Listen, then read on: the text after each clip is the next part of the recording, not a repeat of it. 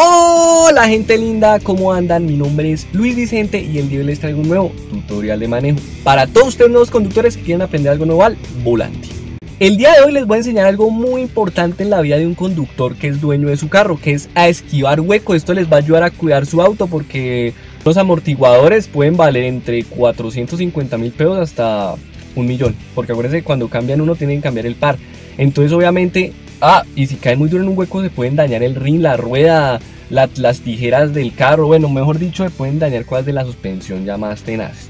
Entonces, obviamente, la idea es que ustedes aprendan a esquivar huecos para que el carro no se les vaya a dañar. Además, pues, es más chévere un conductor que sabe esquivar huecos. Pero antes que nada, te quería sugerir que te suscribas a mi canal. Aquí arriba estaré dejando la lista de reproducción con todos los tutoriales de manejo que yo he hecho. Entonces tú lo miras. Si te gusta, pues te suscribes. Es muy sencillo. Ustedes únicamente tienen que...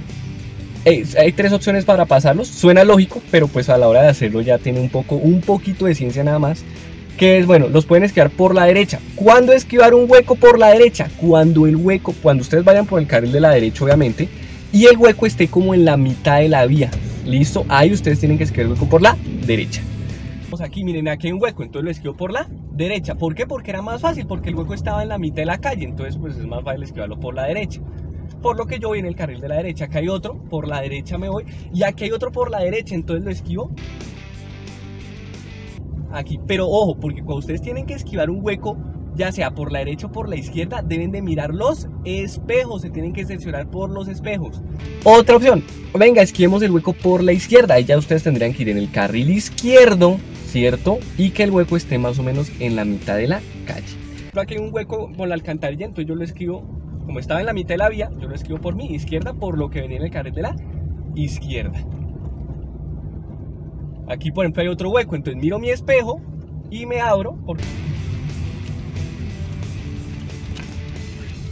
A menos de que el hueco esté muy orillado hacia el andén y obviamente pues ahí ustedes pues simplemente se abren un poco, cosa que no se vayan tan contra el andén, que es donde está el hueco.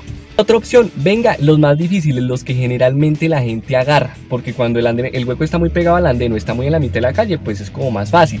Pero cuando el hueco está en la mitad de la vía, en la mitad de la calle por donde ustedes van, ahí es donde muchos suscriptores míos he visto que se van directico contra el hueco y me toca ayudarles con la dirección mientras les enseño. O, veo gente así que por la calle, así que yo no les estoy enseñando y ¡pum! caen parecido en el hueco, no hecho ese carro suena desbaratado. Entonces, ¿qué sucede?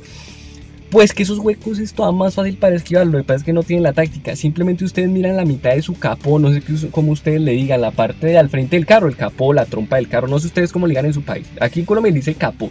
Y es la mitad de la trompa. Si ustedes miran el frente de su carro, le calculan la mitad y ustedes pasan el hueco por la mitad del carro, lo alinean. El hueco que pase por la mitad del carro. ¿Listo? Por la mitad del, del capó del carro. Y ahí las ruedas le pasan por el lado al hueco y no lo pisan. Listo, es muy sencillo. Bueno, aquí por ejemplo hay una alcantarilla, ese desnivel, entonces se pasa por la mitad del capó. Miramos la mitad de nuestro capó de nuestro carro, o la trompita del carro, no sé cómo ustedes digan en su país. Yo digo capó, o sea, la parte blanquita que se ve ahí. Entonces, bueno, entonces vamos mirando al fondo. Entonces, recuerden que ustedes siguen mirando al fondo a menos de que haya un hueco a la vista. Aquí miren, perfecto, miren, acá hay un huecote, ¿sí?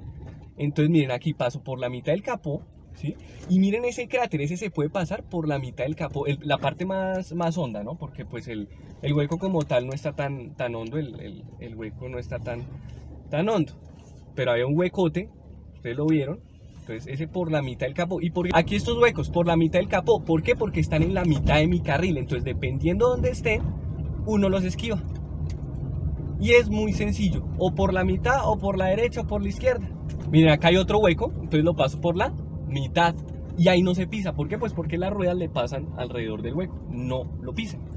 Recuerden que si ustedes van a, pasar un hueco por los lados, tienen que cerciorarse con los espejos. No ahí de pronto viene un motociclista que como a los motociclistas les encanta andar por la mitad de la calle, en vez de ir por la derecha donde deberían de ir, de pronto ustedes por abrirse va y lo atropellan. Entonces tienen que mirar espejos a esquivar un hueco, ya sea por la derecha o por la izquierda. Si lo van a esquivar por la mitad del capo, ahí sí no hay, no hay tanta necesidad de mirar espejo. Listo, igual para más seguridad, de pronto miren los espejos. Si te gustó este útil, corto y preciso tutorial, regálame un like. También recuerden eh, mirar aquí abajo, eh, perdón, escribirme aquí abajo a ver qué otros tutoriales tienen. Como se dan cuenta, poco a poco voy solucionando sus dudas.